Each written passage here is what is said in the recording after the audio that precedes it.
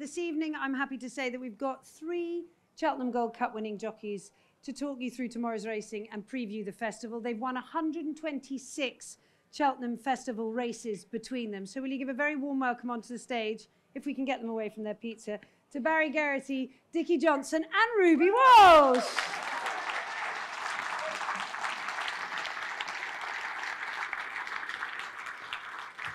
Hey boys. Feel a bit Val Doonican-esque sitting here on my stool. Can you, Dickie, can you reach the stool? Are you all right? Just about. Can you get on? oh, look, he's swinging his little feet. It's so sweet. Um, great to have you all here. Um, tomorrow looks cracking. Let's get straight into it. We are waiting on the superstar that is Megs Nicholls. She's so busy. She's been doing TV at Sandown. She will be joining us, of course, ambassador um, for the Great Holland Cooper brand and also rising star of ITV. But let's, boys, let's start off with tomorrow. That's lies, Alice. she was in Ireland the last couple of days. Um, don't really know what she was doing in Ireland. We'd have to quiz her and find out. But, Okay, I'll, I'll leave that. I'll leave you know, that to you you. know, don't mind sand down my arse. That's where she's really, really been is the question. What about? Uh, let's just let's reflect on that movie actually first of all. Ruby. Yeah, I should have charged double. 19 Ruby. 1924. what age was he when it all started? Yeah, it sounded way better when I was making it than it was in that movie. Jeez, Christ. Just Ruby, desperate, you're a isn't it? poet. You're a poet. No, it's not. Um, I know they need a drama and you need excitement. No, that's not excitement. Uh, dra- oh, it's shocking. No, it's great. Uh, We loved it. But I mean, the Gold Cup for you, all winners, and and they're defining moments in your careers, Ruby. Definitely, and we were all lucky to have won it twice. I think, definitely twice. Did you win it three times? Just twice. Twice, yeah. In we my were all, dreams. yeah. yeah, Yeah. we were all lucky enough to to win it twice. And look, the festival is is a wonderful meeting, but there is something very different about winning a Gold Cup. The reception a Gold Cup winner gets, the crowd, the intensity, the atmosphere, it all changes for the Gold Cup. And it is the pinnacle of the sport, but it is a moment that you'll never forget. And yeah, I can remember the two of them so well. But to win a Gold Cup is so different to winning any other race at a festival. That's what I thought. There's a different feel on the Friday. From the moment you walk in the gate on Friday, it's Gold Cup day. You know, champion hurdle, champion chase, stayers hurdle. They're big days, big races. They're brilliant. But when you walk in there on Friday, it's just, it's a different energy. It is, and I, I remember being there for the first time in '96 when Imperial Call won it. I had no ride; I was only there as a spectator. '95, maybe '96, whatever year it was. But thinking like that, you can, I'll get in the stand and watch any race, and I could until the Gold Cup came along. And I couldn't even get into the grandstand to watch it. It was just people came out of I don't know where. I don't know where these people had come from to watch the Gold Cup, but that's the, the magnitude of it, and it is a, a very special race. And Dickie, for you, two very uh, two different ends. It sort of bookmarked your career almost. When you first won it, do you think, oh, this is easy? Well, I did, yeah. I, I thought, you know, it's quite nice. You could win the Gold Cup. Yeah, having a good night down the pub. It, it happened again in a couple of years' time. Yeah, 18 years later, it, uh, it, it did happen, but took, took a while. But um, but no, I think it, it, it is. It's, it's a Gold Cup. Really, you know, in a career, a, you know, if you can tell someone you won a Gold Cup, it really makes a huge difference to huge, huge difference to you know how how your career career you know finished. And I don't know if you guys have noticed, but this beautiful little cup at the back is the actual Cheltenham Gold Cup, and it's an amazing story. There were this was found um, in a vault, and Cheltenham Racecourse brought it back. It's the original Gold Cup. I am just a fat mother of four and have never won the Gold Cup. These boys obviously have won six between them, and that means that they are actually allowed to pick that cup up. I'm not even allowed to touch it unless you've won the Gold Cup. You can't actually pick it up, can you? That's the rules. That's the rule, Alice. That's the rules. well, look at there it is, and, it, and and look at it. It's so beautiful. As it's so small, but it's so perfect. We'll, Let's ta- we'll get take it home tonight. Let's get on to tomorrow because how many clues will we get tomorrow? I mean, tomorrow on its own, forget the festival, is a cracking day's racing. Starting off with the juvenile hurdle, which gets us underway, um, and we've got a we've got an Ascot Royal Ascot winner running at Cheltenham. Yeah, Burdett Road, won at Royal Ascot. Um, very keen going horse. Uh, he won in Huntingdon then first time over hurdles. He won in Cheltenham on his second run. And just for me, he overcame an awful lot in Cheltenham. Um, Harry Cobden was brilliant on him. He dropped him right out. You know, he was, he was anxious to get him settled, get him jumping. His jumping improved in the second half of the race. But even from the second half, he had a lot of ground to make up. The runner-up might be an amazing horse, but he did win at the next Cheltenham meeting. Um, but I just thought he overcame a lot to get there and he won easy. Sir Gino would be his danger, who looks like he will improve a lot for the experience in Kempton. But I just think Burdett Road has, has an awful lot of class and, and still has more improvement to, to come, I think, maybe. Boys, we've got a lot to get through, but you two, are you opposing the favourite or are you with the favourite? No, I wouldn't oppose him. I think he's a very good horse, but he, he, he you know, he needs to learn to settle. Okay. So then we move on to a novice's handicap chase. Now, I was struggling with this one. Ruby. Oh, Ginny's Destiny will win. Oh, that's Um, good. Top weight. Uh, it will. It's a change in the program. It's a novice handicap chase. He's a graded horse running in a novice handicap. He's not overly highly rated. Paul Nicholls thinks he'd have a chance in the Turner's novice chase on the Thursday at the festival. If he's going to have a chance in that race, he will win a novice handicap chase. Stage Star won the race last year and went on to win the Turner's. So, yeah, I think Genie, Ginny's Destiny will win. And he's a much better price than Burdett Road. Ginny's Destiny is 3 to 1, 100 to 30 if you shop around. Burdett Road is odds on. I'd be more inclined to push you towards Ginny's Destiny in the second and Burdett Road in the first. At 115, Dickie, we've got another handicap, and Il Ridoto just missed out under Bryony Frost last time. We've got a jockey change today, eh, tomorrow in Harry Cobden. He will get an easier lead, will he, tomorrow? Because he looks like the main pace. Yeah, and I think it's probably a slightly less competitive race, and I think Harry Cobden after the last day will probably just you know try and conserve a little bit more. But you know he, he did all but win last time. Um, he has to come here with a great chance. Horses that run well at Cheltenham tend to come back and run really well time after time. Um, Paul Nicholls, um, obviously Ruby knows better than anybody else, but he, he's a brilliant trainer at, at getting these horses to perform on the day, and he knows the right horse to bring for these races. So I think yeah he, he, he goes there. Fingers crossed he can go one better than last time. He's got five pounds extra, though, Barry, tomorrow. Yeah, well, he was the one I, I, I liked as well.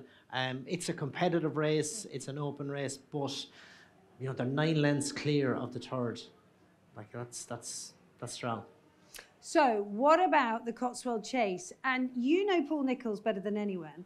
I was surprised, were you, to see him pop Stay Away Fay, who's a very good novice but only had two runs over fences in the Cotswold Chase up against horses like Royale Pagaille. I was too, yeah. Um, I know the owners have dreams maybe of him being a Gold Cup horse at seven years of age. Maybe he's the right age to be having a go at a Gold Cup, but he has such little experience. Two runs over fences. He was very workmanlike at Exeter. He was better at Sandown, but I think it's a brave step. I think it's more the owners wanting to go this road maybe than Paul. Um, that's how it reads. I'm not party anymore to what goes on in the office in Ditcheat, but um, it reads like the owners wanted to have a go at this race. To me, if you're an owner, you're perfectly entitled to your say, but none of us buy a dog to bark ourselves. So if you're paying a racehorse trainer, you should let him train the horse. Um, Right, that's my takeaway. That's my takeaway. None of us buy a dog to bark ourselves. There's got to be. You will say that again. You will. and I, if, if if Paul is happy to be going there, that's fine. But it wouldn't be a traditional route for Paul Nicholls to go, um, and therefore I will go against Stay Away Fay. I like the outsider. A horse Willie Mullins is called Il Capodanno or Capodanno, not Il anything. He's just Capodanno. Um, I thought he ran really well at uh, Leopardstown on Christmas in the Savills Chase. He finished third behind Galopin Des Champs. He almost caught Gerri Colombe. I think a reproduction of that form will be good enough. Um, I think that's all right. Gino was good in Newbury. He could run well. I'd be against the favourites here. I'd be going to the outside. And I think Capodanno with Paul Townend on board will have improved enough from Leopardstown to win tomorrow. That's all right. Gino showed huge improvement for the step up in trip in that Coral Cup. That was a handicap. This is his first time really finding out how good he is, Dickie, isn't it? Yeah, and I, I, I still think that, that was sort of his, his big day, really. Um, I think he's still got to improve. I, Oh, here she is! Go. Oh, here she is! Better late than never. Hey, Butte, squash on the end, don't fall off the stage. They'll probably push me off. there, but yeah, there you go. Apparently, we've got to ask you what you've been doing in Ireland. Oh, I went for a tour around Willie's. Ruby showed me. Oh, Willie Mullins, not touring Willie's, but yeah. uh, yeah. Um, Fuck you. Is that a, a Nodding. I didn't say anything. At least someone's bringing the entertainment first one. Anyway, carry on. so Why are you we- blushing? I've got half an hour and family a show. This is a family show. You have literally. We were, we were talking very seriously racing. Well, I'm moving back as well. Don't. Don't put me on show. Bloody Just be careful, right? you're quite close to the edge there, Poppet. Don't fall off. Right, we've just been questioning Dad's decision to run Stay Away Fay. Lovely novice up in against the big boys. Talk us through it. Love it. Why not? It's like what we want for National Hunt Racing, isn't it? Um, yeah, I mean, if he's going to be a Gold Cup contender next year, then he's going to have to step it up at some point. I suppose Dad's probably fed up of running in like two, three runner races where he doesn't get much of a gallop. And he's going to get that tomorrow. And if he's going to be good enough to be winning at the grade one level against Novice Company again um, come March, then he'll put up a big performance. Do you think he can win? I hope so because I think he's so talented, and I think that we'll see a better horse with a better pace tomorrow. Um, his jumping touchwood has been very good, um, and can he beat Royale Pagaille? Having beaten Bravemansgame, I'm not sure, but I think Stay Away Faith got a big engine, so I'm going to remain faithful. Mm, yeah, you got that form line with Bravemansgame. What, what's your take on this? I'd be with Ruby on the outsiders. Um, Royale Pagaille beat Bravemansgame on soft ground. His best form is on soft ground. It's going to be better than that tomorrow. Um, stay away, Faye. It's a big call, stepping up against strong opposition. So I'd be with Ruby on the outsiders. I like uh, that's all right, Gino. Very impressive in Newbury. Has recent form. You know, you, you, you're hoping Capanana's going to improve for that run, and maybe he will, and he has a big chance. But the horse with recent form, winning a top grade handicap last time, that's right, Gino, and the ground is ideal for him. Okay. Dickie, your selection in it? Um, well, actually, slightly different again. Ahoy Senor, I thought if he if he can forget his runs this year, but if he can go back to last year's form, um, I don't think he'll mind the slightly better ground and a sm- smaller field if he gets in a bit of a rhythm. Um, I think it's a very open contest. Um, but yeah, I thought Ahoy Senor, if he comes back to form, I think he's you know he's, he's got a big chance. I know he'd suit you, right? That Ahoy Senor front runner, but he jumps like his four legs are tied together. You hold him to the next strap and just keep kicking. Oh, be fine. Like my idea of a my worst nightmare would be riding Ahoy Senor in a chase now. I think it is quite He's a camel. The pace angle. Yeah, but, but that's that's Ruby 44, 45 sitting here. Ruby 25 might feel differently. I know if I was riding him, if I had to ride him tomorrow, I'm, choice. I'm, no for- way I'm- I'd sleep. I'm 46 and I wouldn't mind having to go tomorrow. Would you not? Fair play. To you. I wouldn't, I you wouldn't lead him up. if if we get back to the pace angle in the race, there is quite a lot of pace, isn't there? Because uh, and that could suit. That's all right, Gino. Well, that could suit him, yeah. So you have the real whacker potentially and Ahoy Senor going to take each other on, and that's not going to play to the real whacker's strength. So I think that's a negative for him, and he has to step up in what he's done so far this season. Um, yeah, that suits. That's all right, Gino. That suits me. Okay, Clarence House. Clarence House, we were supposed to have at Ascot last week. They've managed to reschedule it to this weekend. Um, unfortunately, we don't see El Fabiolo coming over and taking on the great Jonbon. Um, so is it, well, you're, you've got the inside line on the JP McManus team. Uh, Jean and Nicky Henderson. Nicky was saying this week it's been very difficult because they had him absolutely popping for last week, and he's a horse that's quite lives on his nerves. Um, what about him for tomorrow? Yeah, so it's, it's not ideal, but he's a little bit older now. He's not what he was when he was a five year old as a novice hurdler. So I'd say he's he's easier to you know get him back to where he wants him.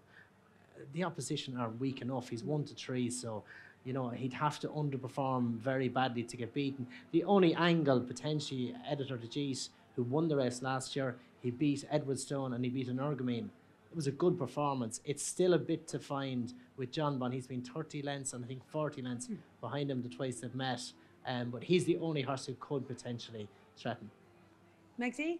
Is it Jonbon all the way? Yeah, I, I think let's keep it simple. It is really. Um, obviously, James Bowen on board for the first time. He'll know him well from schooling him and everything at home at Nicky's.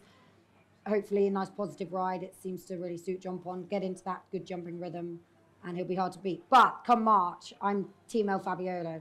I he impressed me last year. I was with him last year, and looking forward to seeing him out next weekend. And I think he's going to be the one that uh, they all have to beat come Cheltenham in March. Just looking at the jockey angle, because um, in case you haven't read it, Nico de Boinville managed to get back from a broken collarbone, but had one ride and um, had to then stand himself down. So young James Bowen gets the chance. It's what all second jockeys they don't want to see the first jockey injured, but when Yes, they do. Oh, Absolutely. well, it's happened. Uh, Dickie for James Bowen, huge, huge opportunity. Yeah, huge. But um, I think Nicky Henderson's he's, he's he's over the last you know um, few months he's he's kept, stepped into quite a few of these big rides and done well. So he, you know he's taken it all really well. Um, yeah, James will be very excited, but it's, it's a huge ride to get. But yeah, Jonbon he's, he's the best horse in the race. Um, I think she should enjoy it. And it'll suit his riding. Oh yeah, but he's the most intelligent horse in training, Jonbon. He knows Ascot was called off uh, last Thursday week. He knows he was peaked to run on Saturday. Um, he now knows the race has been rearranged to this Saturday, and he's had to keep his nerves on edge. I mean, he's just the most intelligent horse in the world. He's an incredible racer. Nicky, Ni- when you listen to Nicky, that's exactly how. I know, yeah. he's Like I mean, amazing. it was- it's an unbelievable fairy tale. He should be writing children's books. He's wasted. he's wasted as a racehorse trainer. the respect it's just oozes out of him doesn't it It's so wonderful so what about um, the unibet hurdle? Um, i'm really looking forward to this. Is it a champion hurdle trial? No. are you sad that constitution hill isn't here since you produced him as a three-year-old and, and pointed out to the lads that, that he was going to be a potential superstar? Did you realize quite how good he was going to be? Not quite how good as, uh, but yeah, had an idea he was going to be smart, but not that smart. Um, yeah, pity he isn't going to be here tomorrow, but um, we look forward to seeing him in March. Uh, as regards the race itself, Lossiemouth, she was brilliant as a juvenile last season. She's late coming to the game this season, uh, but I think that's Willie's plan. Uh, she has Love Envoi to beat, who holds a good level of form, especially in England. She's won most starts. I think she's only been beaten once in England when second to Honeysuckle. Her only other defeats outside of that were in Ireland, so you can put that down to her not travelling. That's a very strong level of form. Um, Lossiemouth needs to be as good as she's meant to be and needs to improve again from what she did last year to beat her, but um, it's probably likely that will be the case. you see see Lossiemouth You watched her working during the week, were you? what did you her? think Yeah, I was surprised by actually how small she is. She's um, she's diddy, isn't she? To be fair, She's not that big, yeah. yeah. But um, she looked a million dollars as always, fit, um, and I think now the BHA have actually rectified their fuck up, which doesn't happen very often. and she's now carrying the correct weight, which is a positive. Um, it's going to be even harder for the others to give her, um, you know, Robode's So if you missed this today, um, the conditions of the race uh, meant that uh, Lossiemouth was allocated a weight, but they, the, her grade one win was in Punchestown, which is in May, and the BHA took it as the following season. She should get half of the penalty that she was given, and that weight's been reviewed and uh, and rectified. But normally they don't review these things. So this is a no, it's good. slightly good, it's a right positive. direction. Yeah. Ah, it is. It is a positive, and at least it's been rectified, which is a good thing. She's in great form. It's a season starter for her. Um, yeah, and it and she should win. We'd, we'd be fairly happy with her. She looks a better filly this year than she was last year. Does she? And it has been, as, as Barry said, it's been a conscious thing, has it, to to wait? Yeah, it has. Um, I- I suppose when you look at juveniles, you go through it every year, and one in nine years, a juvenile will come and win a champion hurdle. I think Katchit was nine years after. Then you had the horse Yeah, that uh, the Thread Allen. Is it? Espoir D'Allen, yeah. Espoir D'Allen, it's it's one in nine juvenile can can go forward to be a champion hurdle horse. And I guess when we were looking at the juveniles that we had, we went back and by accident we looked at the route Quevega took. So she ran as a juvenile. She got injured in France, and by because of an injury, she didn't get to run until February as a five-year-old. Now that happened by accident, but maybe you look at it and think, well, did the accident show you the way to do it? So it's been done by design, and we'll find out tomorrow if it's been the right route. Um, Dickie, let's move on to the Cleeve hurdle. I mean, what can you say about Paisley Park? He's about as old as you and me. Um, No, he's not that old. He, he, Thanks, well, he's not as old as you, Reeves, no. I Um, look it, but I don't feel it. he's the most amazing horse. I mean, he's the sort of horse that, you know, is why we love the sport, isn't he? Yeah, no, he's brilliant. And like, I think two years ago, we, we started writing him off, saying, well, he's doesn't always want to go and do it and everything else, and he, he keeps coming back and, and, and, and doing it again. So, the- the Cleeve hurdle last year, I think someone on telly said, Aidan, years ago? A- A- is it three years ago? Two years Two years ago. Aidan, Aidan Coleman should definitely pull his horse up. He didn't. He, he basically stood at the start for gave everybody 20 lengths, and then uh, sauntered home and, and won, won easily in the end. So left, um, left the stayers hurdle behind him. He should have pulled him up. should have listened to you. I know. Um, but I think yeah, he's an amazing horse. But I still think there's there's other horses in the race. I thought Noble Yeats, who obviously won a Grand National, I thought he he was a horse that if I was going to ride one in the race, that, that's the one I would want to ride. It's pretty cool, isn't it, having a, a Grand National winner up against a Stayers hurdle winner, and then you got Dashel Drasher in there as well, and you got Champ, of course, as well. There's so many stories and different angles that you can take at it of horses coming up, horses going down, older horses, younger ones coming through. It's brilliant. It's more of the older brigade there. You know, there's not many. Noble Yeats is the one that's coming through potentially. Um, Drasher, though, for me, I thought he dictated a steady pace at Ascot, which didn't play to Paisley Park's strengths, but yet Paisley Park was the one who gave Crambo most to do. Um, I just showed it. I thought it showed great well-being in Paisley Park at his age. He's won the race three times before. Um, I think Noble Yeats will need to be in his A game to beat Paisley Park. Do you think it's it's great seeing Tom Bellamy? He seems to, you know, the sort of change and mixing it up. Um, not that Aidan hasn't done a brilliant job on him, but almost with these old horses, just doing making a little change can sometimes make a big difference. Try and sweeten them up. We've got to do that to these old boys, haven't we? Um, um, no, but yeah, I think it was nice to see Paisley Park travel so well last time because we see so often that he just sort of looks like he really can't be asked, but he actually has been travelling really nicely. Um, Tom's obviously getting a good tune out of him. Sort of gutted he couldn't get that grade one on the board, um, but hopefully it's knocking on the door. I love the route that Noble Yeats is taking. Bit of confidence back. Two and a half miles last time, way too sharp. Up and trip again. Um, obviously the pace, it's not going to be ferocious, no doubt. But Noble Yeats, we've seen him.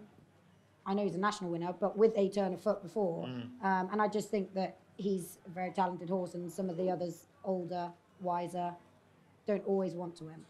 So we go from the old brigade to the young brigade and a, a, really interesting novice hurdle. And I'm so looking forward to seeing this Gidleigh Park in the paddock because he's a massive, great big raw thing, but he seems very nimble on his feet. And Ruby, you've been looking at this new analysis of um, gaining lengths at fences, and I was really surprised when I looked him up that for a big horse, he's he's really trapping at his hurdles. Yeah, he is. He takes them on. He like he obviously likes jumping. His his the stats and the data behind his performance add up. Um, I thought he was probably a fraction workman like at Newbury when he won, but I'm not sure Harry Fry's horses were really bombing at the time. Yet he managed to go and win. I think they're in better form now.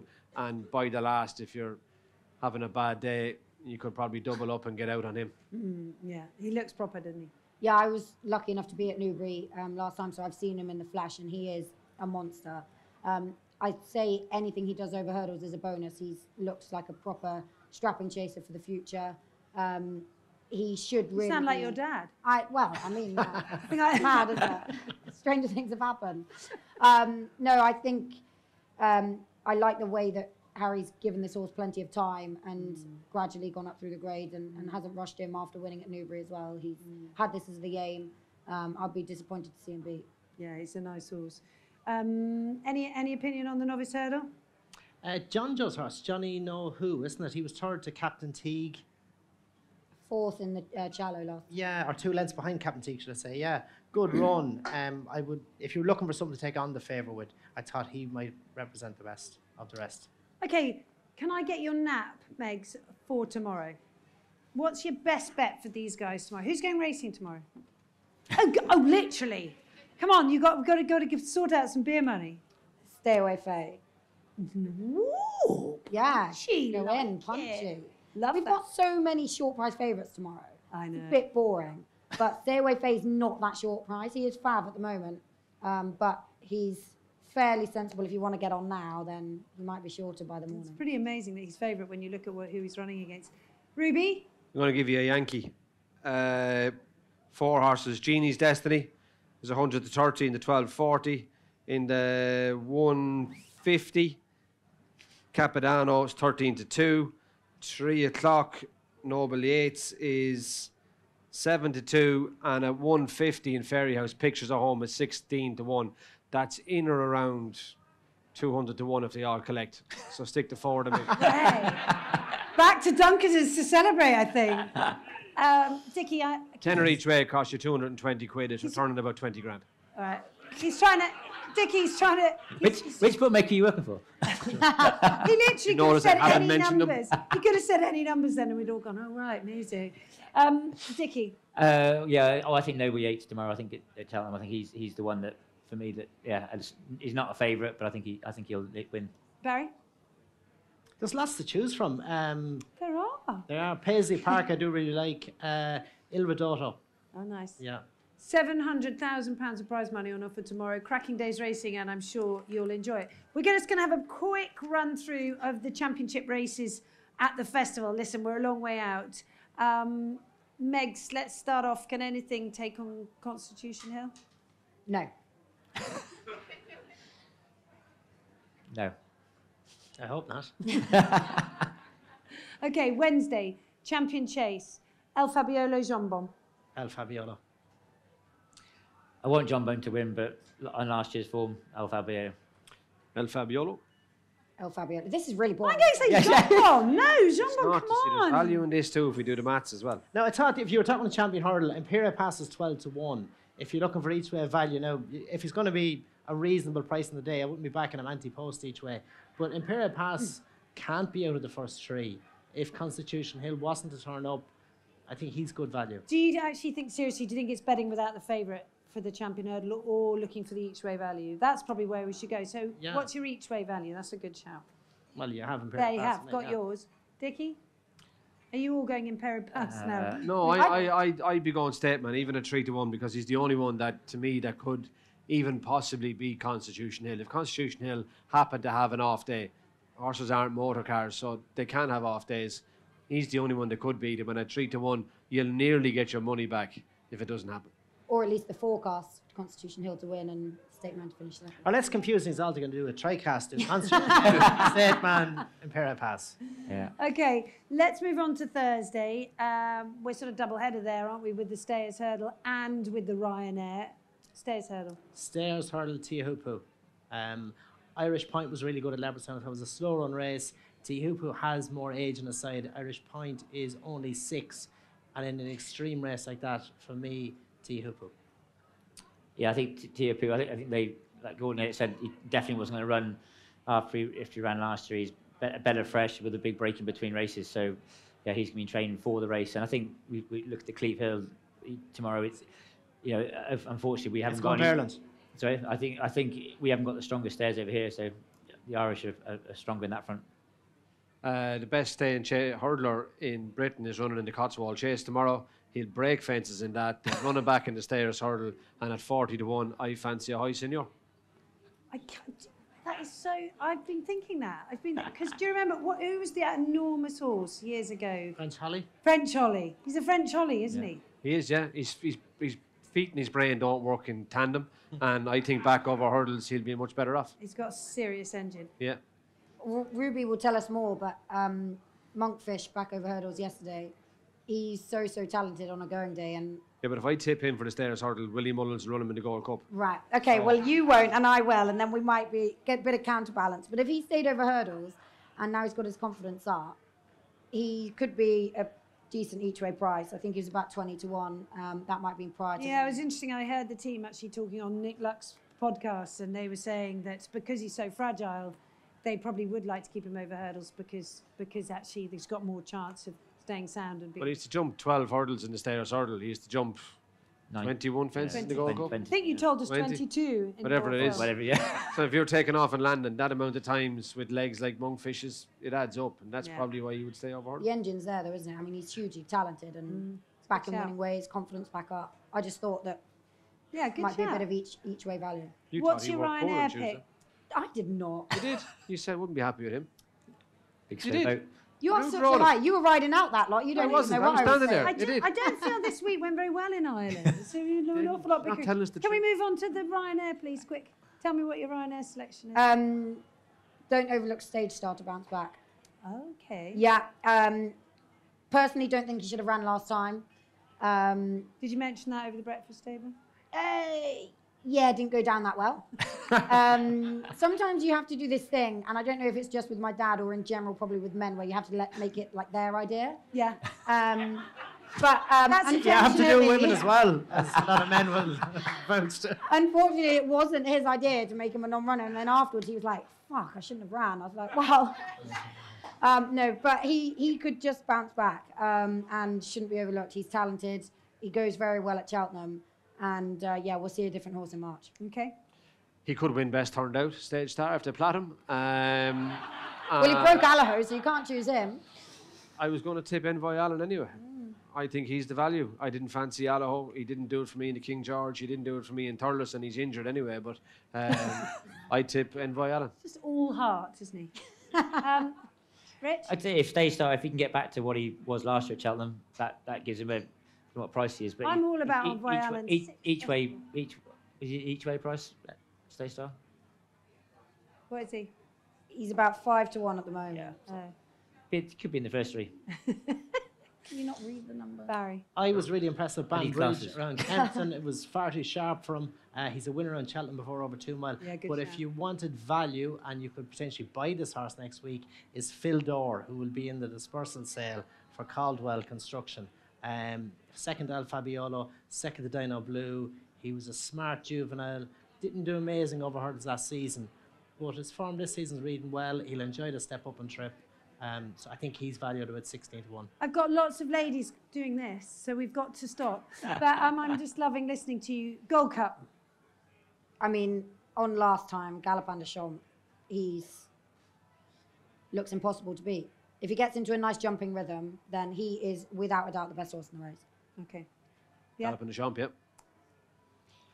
On last year's form, he is. Um, I thought Le Hon Pre- Preserve, um, Venetia's was really That's long good. pressé. L'Homme Presse. Sorry. struggled, with Eng- struggled with English, let alone French. French. Um, but yeah, I thought he was very good um, last Sunday, and at each way price, yeah, he's. I, I think he'll be in the three if he if, if he's okay after Lingfield. Yeah, and he improved, didn't he? The whole way through the race, he sort of got Yeah, better and I, better. I think he's. I think he's a very talented horse. Nothing original. Galopin Des Champs. Love it. You're all agreeing. We love a favourite, don't we? We love a favourite.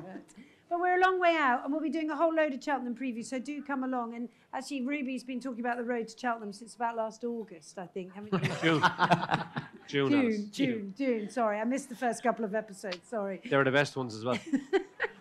Um, ladies and gentlemen, thank you so much for your attention, and thank you so much, guys. I mean, what a privilege to have uh, such a great panel. And well done, Megs. You made it. Got here eventually. And you added glamour and you lifted the whole thing. So thank you so much for coming. Rubes, Dickie, Barry, thank you so much.